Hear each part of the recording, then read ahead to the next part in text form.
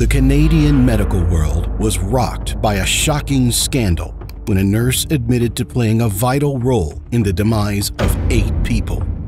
What could have prompted the medical practitioner to carry out such evil acts? In the never before seen interrogation of a twisted minded nurse who brought more pain than succor to the lives of those under her care, you are about to understand the motive behind the actions of Elizabeth Wettlaufer. Elizabeth's troubled and failed romantic relationships form part of the reason why she may have snapped. With access to prescription drugs, it was not long before she was addicted to these self prescribed treatments. She was also diagnosed with bipolar disorder, and so she had to be placed on antidepressants. All of these may have led to her acts of evil against her patients. If she was not exposed at the time she was, she would have increased her evil tally by six more innocent lives. Elizabeth had already written a four page statement to the authorities before this confession you are about to watch. However, this is a follow up interrogation to gain further insight into the very details of what she did. The detective who interviews her walks into the room and introduces himself to her. After some familiarization, he gets into the interview. Following her previously made statement, the detective attempts to build on this. He asks for a brief file history, and so she starts by telling him about her work history. She touches on the places she has worked, her roles as a registered nurse, and the various things she was required to do as a nurse. In the course of her discussion, she tells him that she was assigned to some of the sickest people in the hospital. Sometimes they were terminally ill, and she knew they were in their final hours. The detective asks about her addiction, and she says she began to have these addictions in 2006. Um, back at Meadow Park, what, were you, what was your addiction? Uh, Hydromorph. In attending to her sick patients, Elizabeth sometimes stole their medications after they passed on. I was a binge user, so I would use what I could get a hold of Okay, by stealing it from the patients. okay. This went on undiscovered for a long time. However, there were times in her career when her addictions could not be hidden. For instance, she was once found passed out cold in the basement after consuming unhealthy amounts of alcohol. Another time, her drug usage led to a wrong medication prescription that almost led to the loss of a patient's life. She tells the detective how she had access to the medications she constantly abused. She tells him that she had been able to overcome her addiction. Although it relapsed at a point, she says she's in a much better place now.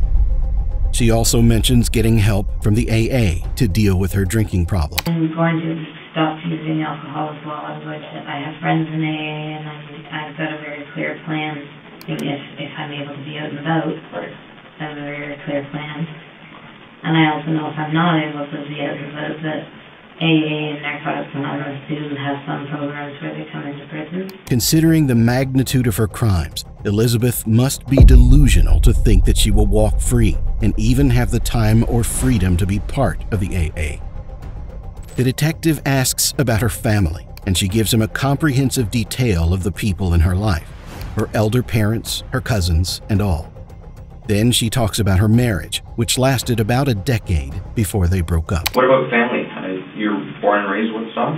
Yeah, born and raised in Woodstock, uh, married from 2000 and, or from 97 to 2007. Okay. We broke up, um, February 2007. No children. I wanted them, he never did. As she continues, it is clear that she left the marriage filled with bitterness in her heart.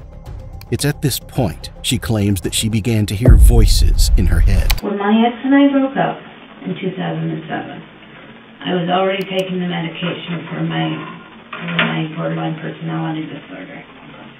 And I was so angry. And it was like a voice said inside me, I'll use you, don't worry about it. She says she's not sure if it was a divine voice or the voice of the devil. Soon, she began to overdose her sick patients with insulin, losing eight patients. At different times that I have caused people's deaths or caused them discomfort through the, um, through the insulin, it was the influence of that voice or whatever it was. It wasn't a voice in my head, it was a voice in here. And when I would do it afterwards, I would hear like a laughter in my chest. In her mentally sick state, she must have imagined herself as some angel of justice, bringing her patients peace instead of suffering through their ailments, or like an angel of judgment, ridding the world of those sick people. At some point, she was moved from her duty point and assigned to treat children. This is where she seemingly grew a conscience as she wasn't sure if she could administer huge doses of insulin to sick children.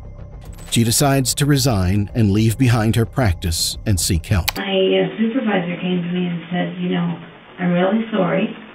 We wanted you for Woodstock, but we have so many kids in the schools in Ingersoll that need help with their insulin pumps that you're going to start working in Ingersoll. Okay.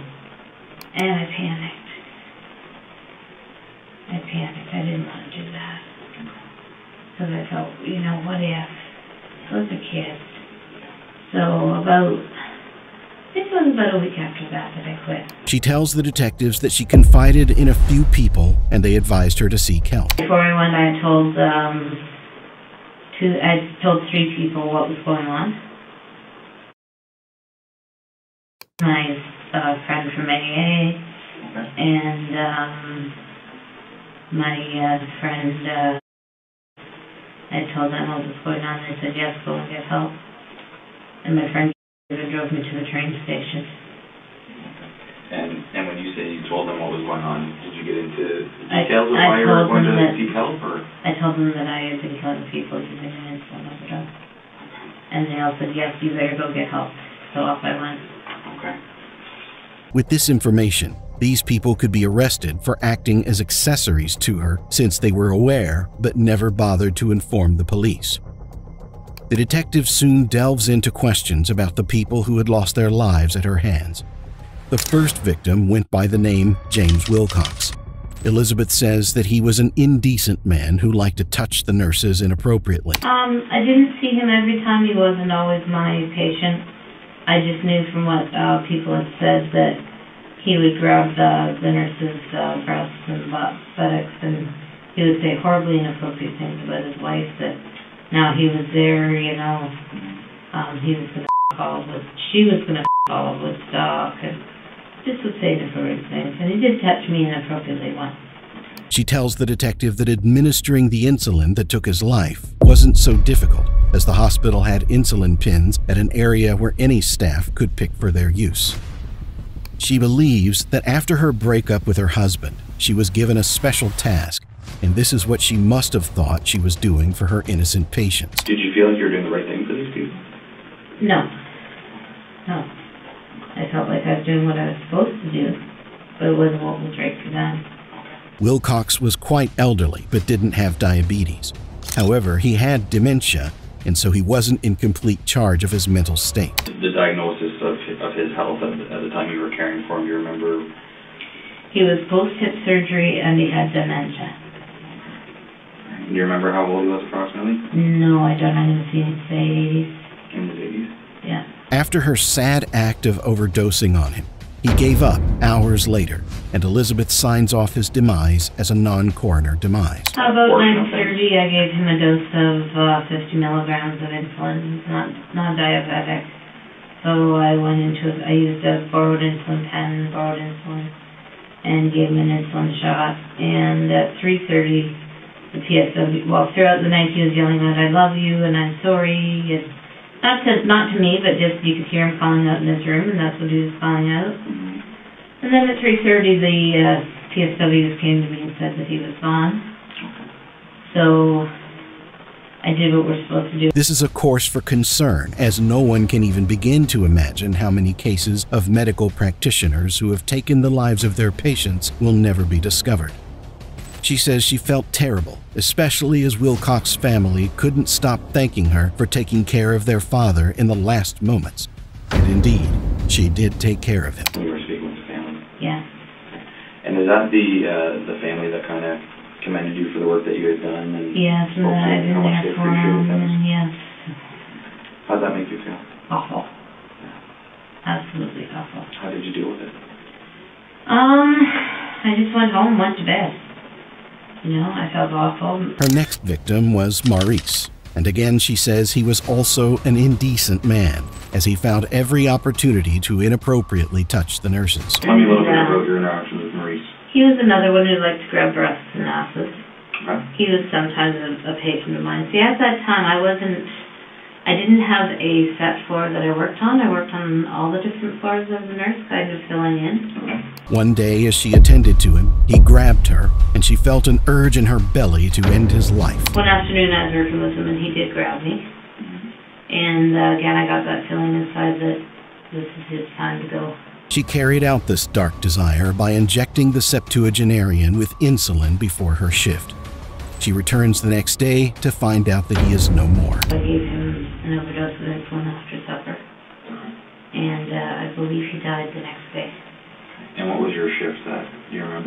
remember what shift It you was working at that three to point? eleven. Three PM Yeah, to eleven p.m. till eleven PM, so like So an he died. shift. He died when I wasn't there. Okay. The next one on her list is Helen Matheson in 2011. The next person on your list is Helen Matheson. Yeah. Okay.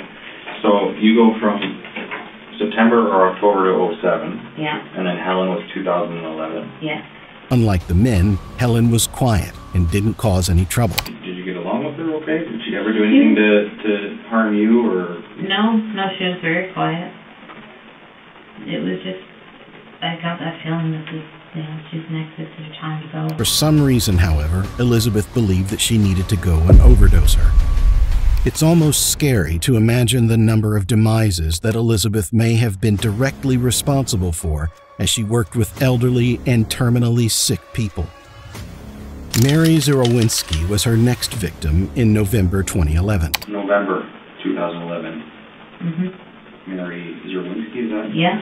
How do you recall uh, her last, last name being pronounced? Yeah. And this was at Caressant Care? Yeah. Okay, and you said that she wasn't a diabetic, but she had dementia? That's right. For some reason, the patient had some sort of premonition that it was her last day.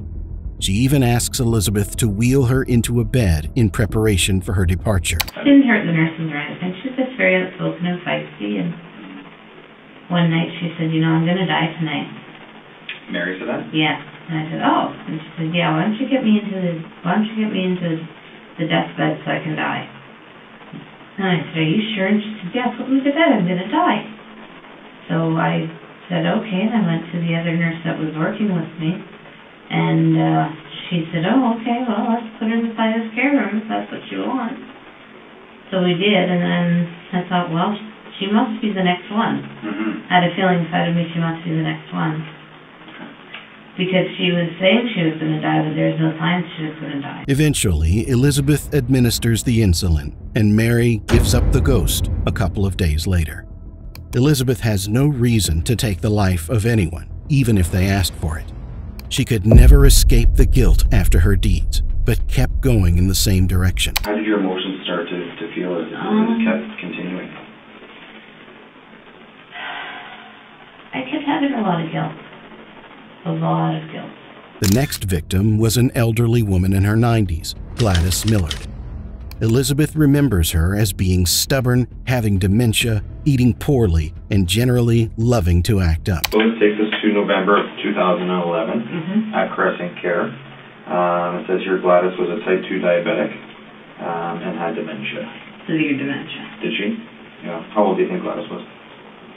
Nine, 92? 92. On one account, she attacked a man when she heard that he wasn't treating his wife right. She once punched a man Oh. because uh, she she overheard the nurses telling one of the gentlemen, no, you can't push your wife around, you have to come with us. And she turned around and she said, you can't treat a woman like that. Boom! And hit the man. And hit the man. Elizabeth says she later got the nudging within her that this was her next victim, and again carried out her evil act of overdosing her. The detective asks if she ever had the feeling to take anyone's life at home, but she says she never did. Did you ever get that feeling outside of work? No, never. The urge always came when she was at work. The detective asks her if there were any cameras in the treatment rooms, and she says there weren't any. Was there cameras in in In the the bedrooms? No. No? No. Nothing at all. No. This means that just about anything could have been done by any medical practitioner without evidence for it. Elizabeth's next victim will be a 90 year old woman, Helen Young. Again, she felt it was in her place to end the woman's life. What do you want help with? I want to die. Why can't you help me die? I want to die. And one night, it was like something snapped inside. In this case, however, after injecting the woman who was always begging to die, she turned red as the adverse effect of the insulin set in. I came back and I thought, okay, you will die. So, uh, I gave her a shot. I came up to her and said, this is for your pain. And I gave her a shot of long acting or short acting. And she started to settle down. And then, um, later on we put in, her into bed and I gave her more, off, more of the, uh, insulin. I think it was long acting. She had a seizure. She turned red. She, um, was diaphoretic. Shortly afterward, another nurse came to relieve her of her duty and noticed Helen's terrible situation. She called Elizabeth to help her with the patient, but she only pretended to attend to the woman as she knew she was responsible for the woman's pain. PSWs called me to the bedside. Um, I took all of her vital signs and I pretended to take her blood sugar. Every time these crimes happened, Elizabeth claims she remembers hearing a voice that resembled the cackling of someone from hell.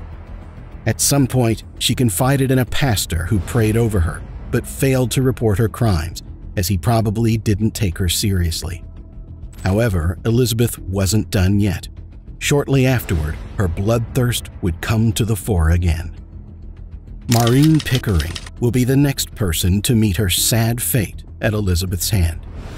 According to her, Maureen was quite a handful and had no problems pinching and pulling at other patients' hair. She would attack other patients. She would pull their hair. She would hit them. She would pinch them. Elizabeth recalls the rising urge to put an end to the troublesome woman's life, but she says she didn't want this to happen. And I had had to look after her. I got this idea. I thought, you know, I'm starting to get the feeling of that surge again. I thought, no, I don't want her to die. Instead, she thought of injecting her with a sufficient dose to cause her to slip into a coma. If I could somehow give her enough of a dose to give her a coma or something to change her brainwaves. Well, that didn't work out, and the woman lost her life eventually.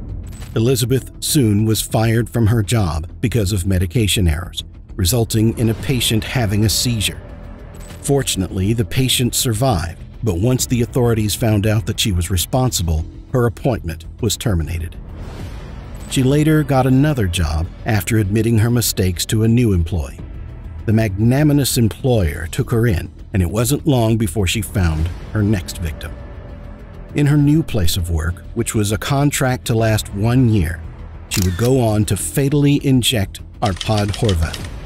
Some of the other fortunate patients who survived Elizabeth's unlawful use of insulin include Sandra Towler and Beverly Bertram. However, she was charged for her attempts to take their lives. As the detective finishes his session, he runs through some of the areas of the case. Although Elizabeth is making a full confession, all of her accounts will need to be double checked. Everywhere she has worked also will need to be investigated, and all the records of those who lost their lives when she worked there will have to be checked. Again, every person who was aware of her evil but never came forward to inform the authorities will have to be questioned to ascertain if they can be charged for aiding her crimes. Elizabeth's story is rather complex. In one breath, she is a helpful person who will do everything in her power to help, and in the next, she doesn't hesitate to harm and recklessly takes lives.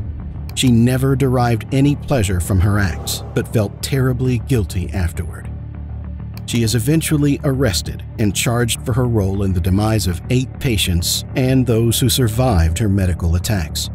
At her hearing, she willingly confessed to her crimes and was sentenced to eight concurrent life sentences without the possibility of parole for 25 years.